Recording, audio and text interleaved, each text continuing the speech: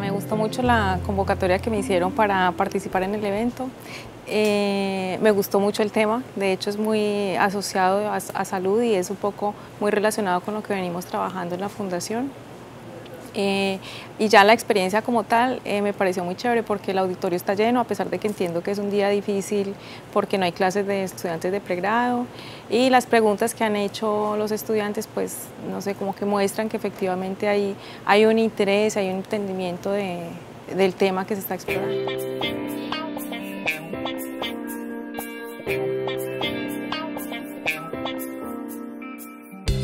Estamos eh, profundizando en una línea que es de evaluación económica. De evaluación económica en tecnologías de salud, en intervenciones, por ejemplo, de salud pública. Entonces, la medición de los resultados de esas intervenciones o los resultados de eh, implementar cierta tecnología o utilizar cierta tecnología o cierto medicamento es importante para nosotros. En esa medición nosotros tratamos de encontrar una variable de medición que tenga como las condiciones eh, ideales para poder reflejar los beneficios en salud de esas, de, esas tecnologías o de esas eh, intervenciones que se están haciendo. Un poco el bienestar subjetivo es una alternativa de medición, por ejemplo. ¿No? En, este, digamos, momento nosotros no hemos utilizado ninguna medida de salud subjetiva para evaluar los resultados de las intervenciones que se han hecho, pero es como una herramienta que hasta ahora se está explorando y que puede ayudar y apoyar esa medición eh, que nosotros hacemos.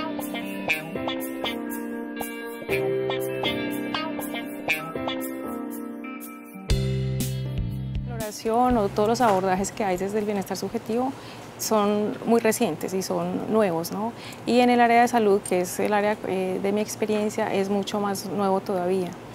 Em, allí me parece que la contribución es sobre todo como a superar las limitaciones que tienen las medidas de bienestar o las medidas de, resultados en salud tradicionales, que nosotros tratamos mucho de utilizar medidas de salud objetivas, observables y objetivas. ¿no? Y esta medición de bienestar subjetivo complementaría esa medición y la complementa identificando factores que en las mediciones objetivas no se incluyen y factores que podrían tener incluso consecuencias en términos de la asignación de recursos en, en decisiones en salud, por ejemplo, en uno de los estudios que, estuve revisando ahora para la presentación, allí se habla de una relación que hay entre las medidas subjetivas y las medidas objetivas eh, de salud eh, relacionadas con la enfermedad de Parkinson.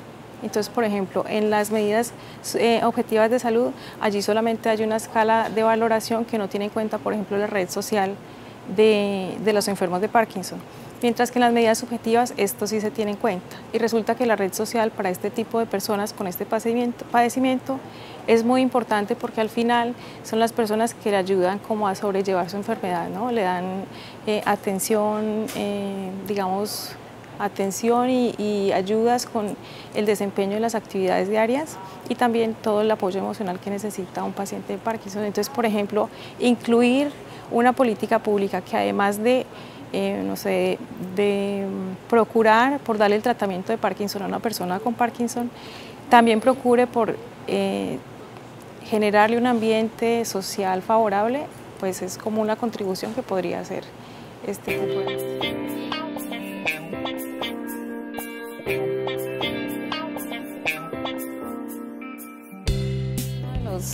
simplemente es la realidad, ¿no? lo que está ahí. Uno se puede sentir feliz a pesar de todas las eh, eh, condiciones adversas por las que atraviesa. ¿no? Pero me parece que es como uno de, de los elementos con los que hay que tener cuidado al utilizar para políticas públicas una medida de, bienestar subjetivo.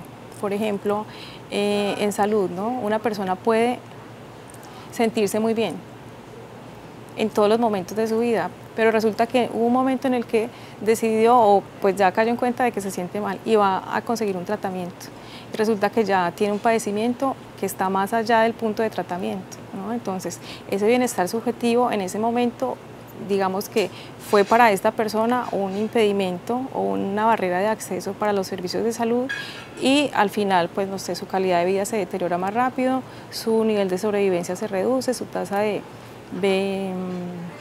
de, supervivencia se, ah, bueno, se reduce, eso ya lo dije, y aumenta, por ejemplo, la tasa de mortalidad. Entonces también hay como que tener cuidado en qué momentos y para qué cosas son útiles las medidas de bienestar subjetivo porque no puede reemplazar en ningún momento las, de, las objetivas. Serían una forma complementaria de abordar los problemas, pero nunca como un reemplazamiento.